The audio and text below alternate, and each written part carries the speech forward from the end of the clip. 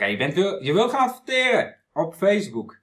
Nou, je bent helaas niet meer alleen. Waar enkele jaren geleden Facebook echt als een soort van geheime terrein voor alle adverteerders opeens open stond. Je kon voor enkele luttele euro's kon je gigantische resultaten halen. Zullen we het nu op dit moment steeds slimmer moeten doen.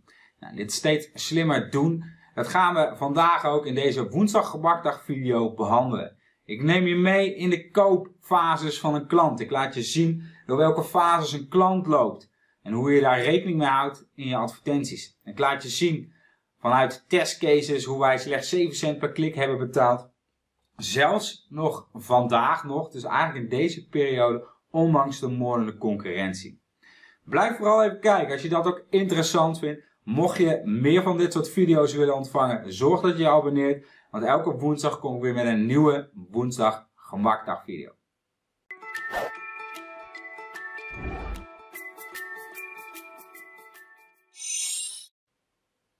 Nou, hoe werkt het adverteren op Facebook? Als je kijkt naar het adverteren op Facebook en eigenlijk voordat je überhaupt gaat adverteren, adviseer ik je na te denken over het doel. Wat is het doel van jouw campagne? Denk dus ook over na van oké, wil ik branding, wil ik een groot bereik creëren? Wil ik eh, videoweergaves, dus wil ik een bepaalde boodschap tonen? Wil ik bezoekers en klanten naar mijn website sturen? Als je kijkt naar de volgende resultaten, dan zie je dat de campagne volledig is ingericht eigenlijk op de betrokkenheid en dus op het bereik. We wilden een bepaalde boodschap de wereld in helpen.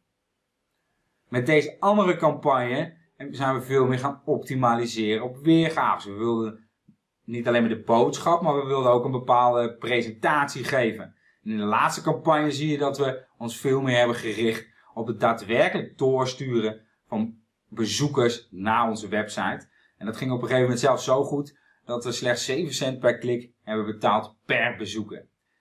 Nou, dit soort resultaten haal je niet in één keer. Ook niet aan de hand van deze uh, Facebook adverteertips. Je moet dit testen. Er is niemand die jou kan vertellen hoe goed jouw Facebook campagne zal gaan, los van de cijfers. Nou, dat gaan we dus ook vandaag doen. Als je kijkt naar Facebook en de koopfases, dan doorlopen we verschillende fases. Allereerst beginnen met de bevestiging. We hebben een probleem, een behoefte. We lopen ergens tegenaan. Mijn fiets is kapot, mijn televisie is kapot. Ik heb een nieuwe telefoon nodig. Ik uh, heb nieuw personeel nodig. Welke bevestiging ook heb, ik ook heb, op dat moment speelt er onderhuids eigenlijk een bepaald proces. Dus ik heb, ik heb al eigenlijk een klein beetje behoefte, alleen ik ben nog niet doorgegaan naar de volgende stap. De volgende stap is eigenlijk het informatie zoeken. Ik wil meer informatie hebben. Hoe kom ik van mijn probleem af? Welke televisie heb ik nodig? Welk personeel? Waar, op welke websites kan ik gratis vacatures plaatsen? Hoe kan ik mijn huis verkopen? Hoe vind ik een uh, webdesigner? Dus ik ga informatie zoeken. Vervolgens kom ik op de evaluatie van alternatieven. Ik ga mijn alternatieven evalueren. Moet ik mijn fiets zelf maken? Ga ik het aan, iemand anders vragen? Uh, besteed ik het uit? Wil ik, heb ik video's nodig? Dus ik ga mijn alternatieven evalueren en uiteindelijk kom ik op een bepaalde koopbeslissing.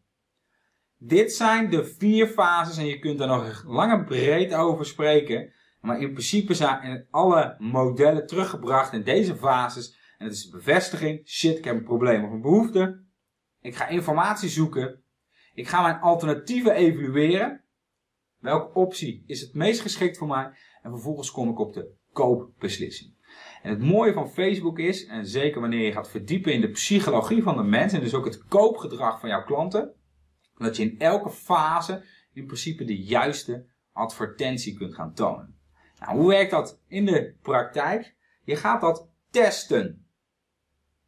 Kijk even naar deze volgende campagne.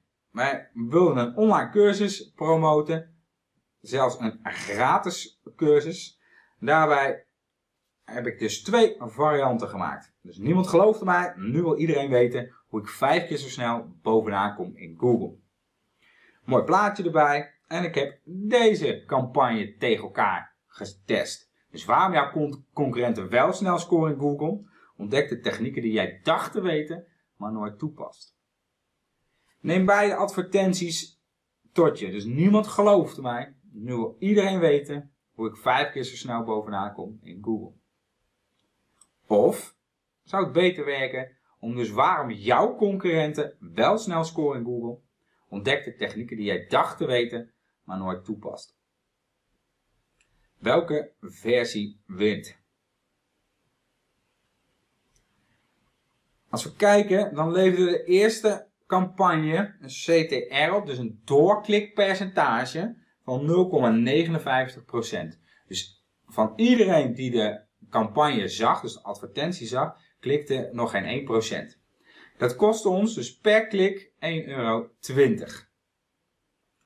Pakken we de andere, dan zien we dat we al 1%, dus we hebben alleen de tekst aangepast. En je ziet al dat ik enorm gaat dalen in de kosten per klik. En de CTR verhoogd is. Wat heb ik vervolgens gedaan? Ik zie er niemand gelooft mij. Nu wil iedereen weten hoe ik vijf zo snel bovenaan kom in Google. We hebben dat getest. We zien dat die tekst beter werkt. Wat gaan we vervolgens doen? Dus ik test de tekst van je advertentie. Vervolgens, niemand gelooft mij. Nu wil iedereen weten hoe ik vijf keer zo snel bovenaan kom in Google. Tekst is niets veranderd. En vervolgens heb ik getest, moet ik een plaatje van baantje tonen of van twee blonde dames. Dus welke advertentie, dezelfde tekst, alleen een andere afbeelding, denk jij dat beter zal werken? Kijken we dan hier, dan zijn we alsnog met een nieuwe afbeelding in onze CTR gestegen en onze klikprijs gedaald. Maar dat is nog niks ter vergelijking van de laatste test. Waarbij we dus slechts nog in plaats van bijna tegen de euro, of meer dan een euro per klik, zelfs nog maar 30 cent per klik betalen. Dan, een volgende test, om even te kijken hoe goed je kennis al is. Dezelfde cursus, andere tekst, andere layout, andere afbeelding. De sleutel om Google te verplichten en jou die nummer 1 positie te geven. Of de sleutel om Google te verplichten jou die nummer 1 positie te geven. Dus wint deze variant of wint deze variant. Nou, een grote kans dat natuurlijk beide advertenties, dat je nog helemaal niet gekozen hebt, beide advertenties waren hetzelfde. Wat hebben we dan vervolgens getest? We hebben getest wat doet de doelgroep met een bepaalde campagne. We hebben op de locatie getest, we hebben de leeftijd, de interesse op freelancen en de plaats desktop en mobile. En vervolgens hebben we gekeken van ja, laten we een andere interessegroep, dus dezelfde locatie, dezelfde leeftijd, dezelfde plaats, alleen een andere interessegroep. Welke werkt beter? Dus moet je geïnteresseerd zijn als freelancer of als je RCO-cursussen interessant vindt, dan moet je interesse hebben in promotie en marketing.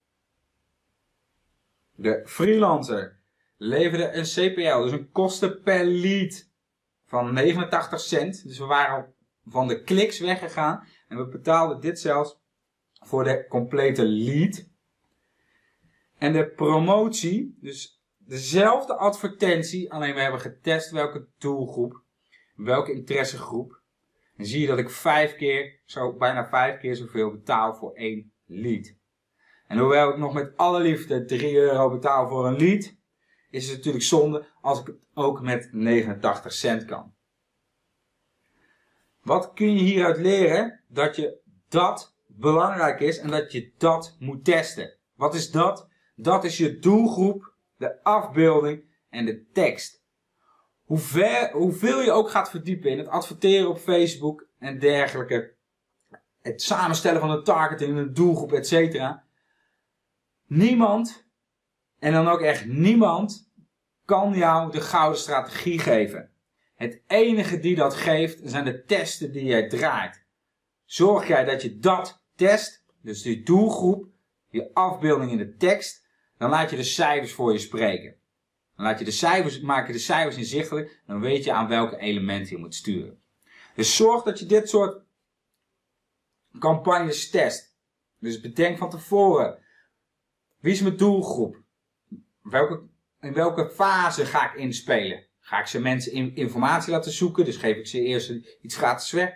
Zijn ze al in de evaluatie van alternatieven? Of zijn ze al klaar om te kopen?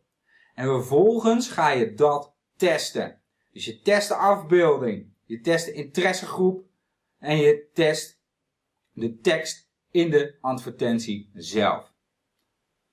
Ga je hiermee aan de slag en je zult zien dat hoe langer je test, je niet dus alleen maar investeert in daadwerkelijk de leads en je bezoekers, maar investeert in marketingkennis. En geloof mij, hoe lang je dit ook doet, wij zijn, we adverteren geloof ik al vanaf 2014. Ja, en vanaf die tijd heb je enorm veel geleerd. In die kennis hebben we geïnvesteerd door daadwerkelijk te adverteren op Facebook. Dat heeft ons resultaat opgeleverd, maar tegelijkertijd hebben we daar enorm veel van geleerd. En voor elke branche werkt het weer net iets anders. Dus zorg dat jij niet alleen investeert in de resultaten die je voor ogen hebt, maar dat je ook direct investeert in de juiste cijfers en dat je investeert in nieuwe marketingkennis. Vond je dit een interessante video? Geef je reactie, geef een like, deel het als je dit ook interessant vindt voor je netwerk. Heb je vragen? Ben je al aan het adverteren op Facebook? Laat vooral ook even wat van je horen. Heb je het nog niet gedaan en wil je wel dit soort tips blijven ontvangen? Klik dan even op abonneren of op volgen, zodat je zeker weet dat je de volgende video ook gratis ontvangt. Heb je een tip, een aanbeveling voor een, een nieuwe woensdag gemakdag aflevering? Laat het van je horen. Ik behandel alle vragen en reacties persoonlijk. En dan wens ik je heel veel succes.